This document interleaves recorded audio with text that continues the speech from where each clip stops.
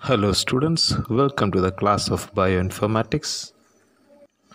Today we will discuss semi-global alignment, the Smith-Waterman algorithm and we will do some problems.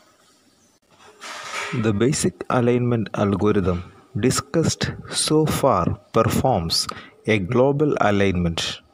That is, it compares two sequences in their entirety.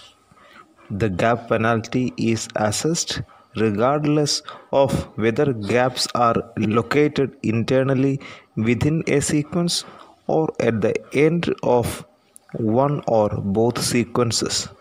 This is not always the most desirable way to align two sequences. Suppose we wish to search for the short sequence ACGT within the longer sequence AACACGTGTCT. Of the several possible alignments between the two sequences, the one we are most interested in is AAA ACGTGTCT gap gap gap ACGT gap gap gap gap.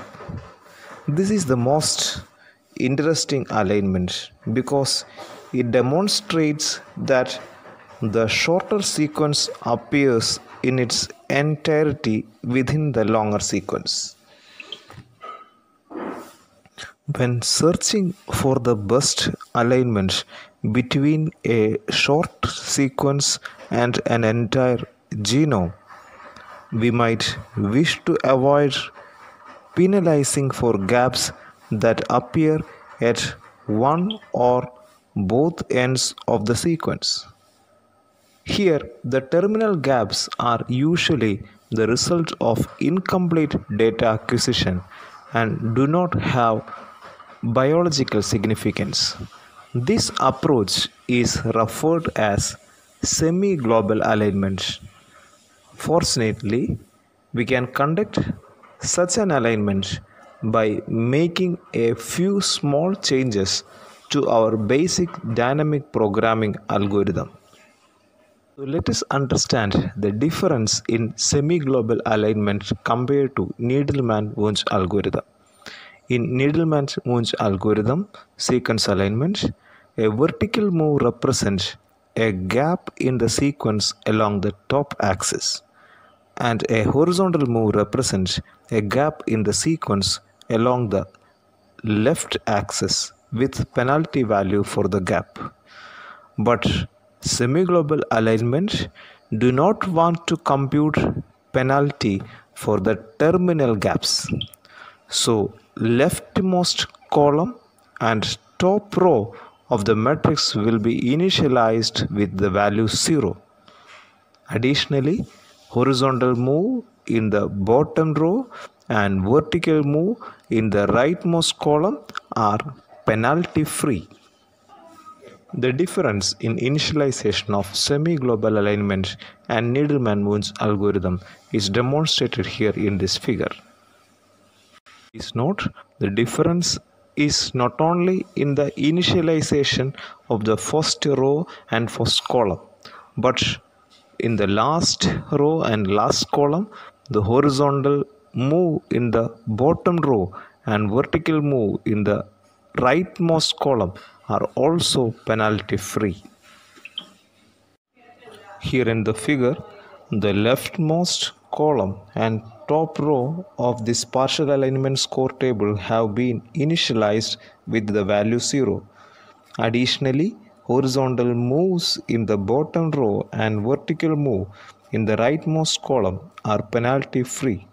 This allow gaps at the start or end of either sequence to remain unpenalized.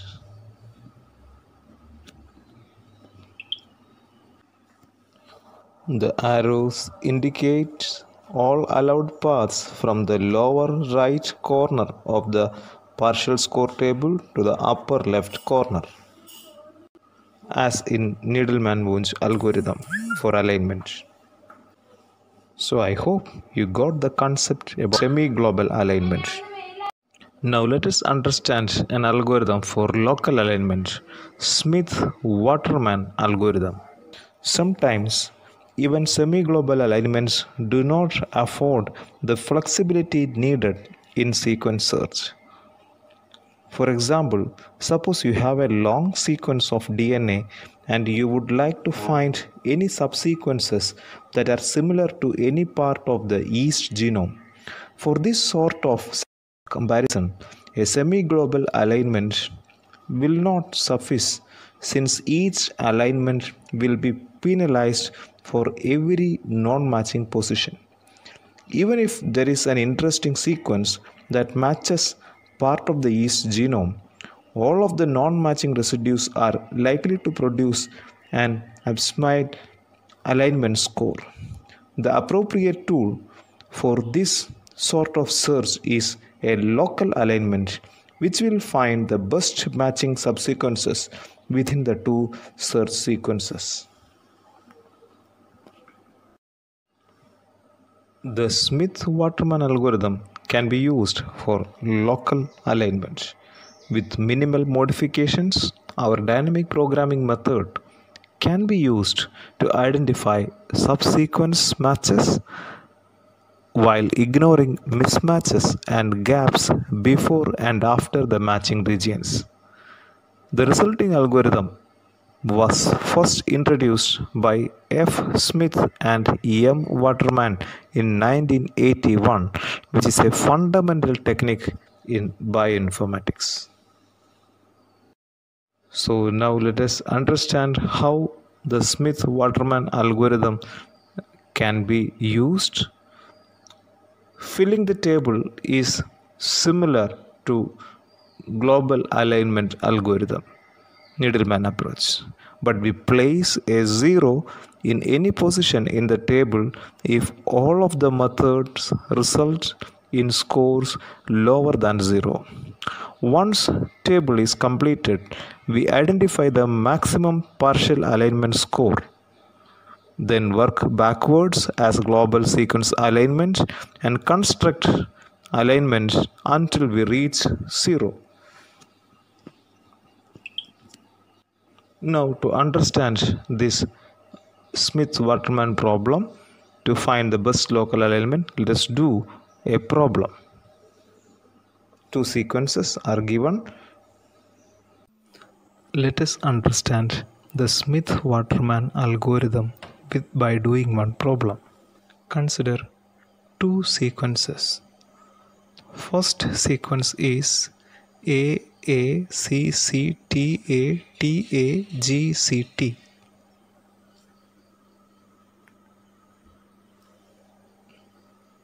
We initialize the with zeros. Second sequence is G C G A T A T A. We are using Smith Waterman algorithm for the local alignment of these two sequences. Gap penalty value is minus 1, match bonus score is plus 1 and mismatch score is minus 1. As designed in the Needleman-Wunsch algorithm, we form m plus 1 rows and n plus 1 columns in semi-global alignment we do not want to compute penalty for the terminal gaps. So the leftmost column and top row of the matrix will be initialized with value 0. Filling the table is similar to global alignment algorithm. For remembering the values I am writing here gap is minus 1 match score is plus 1 no math score is minus 1 when we take the diagonal elements or left values or computation values from the top if the result is negative we write 0 we do not write negative values in the cells.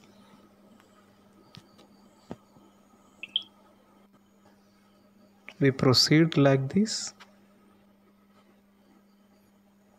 when match score occurs for the diagonal elements, we write 1 by adding the diagonal element value. Here, when we take the value from the left side 1, we have gap value minus 1. So 1 plus minus 1, value 0 becomes, value becomes 0. Thus we fill all the values in the cell. We place a 0 in any position in the table if all the methods result in scores lower than 0. All other computations are similar to Needleman-Wunsch algorithm method. Once the table is completed in this manner, we find the maximum partial alignment score in the entire table which is 4 here. The maximal value in the partial alignment score in the table is 4 here. Starting with this position and working backward until we reach a value of 0 we obtain the alignment. We choose the alignment sequence based on the arrows, diagonal arrows as we discussed in Needleman-Wunsch algorithm. Here the best local alignment sequences are TA, TA and best local alignment score is 4.